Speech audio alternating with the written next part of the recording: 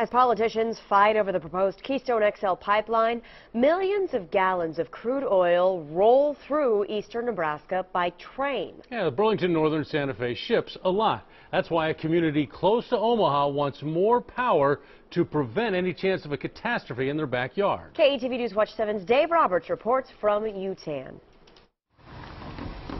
Sometimes it's hard to sleep in the Omaha bedroom community of Yutan.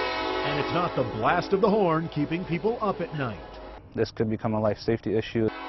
Millions of gallons of oil roll through town every week. It's a rail shipment with explosive potential, as seen in North Dakota last year.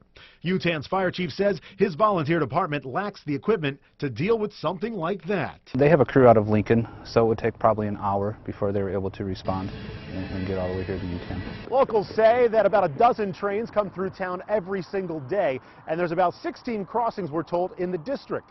That's what the fire chief worries about most, because if a train carrying oil collides with a car, he wants to be able to respond quickly. The rail line runs past schools and businesses. Children cross it every day. Andy Williams with BNSF told us over the phone the company pays to train local firefighters and provide them with special equipment to fight oil fires. How old is this truck again? This is a 1995.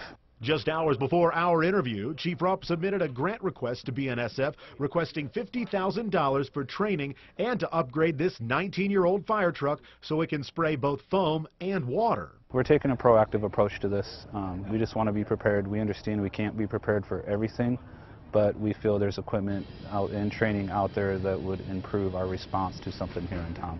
Something may never happen, but if something does, seconds may matter.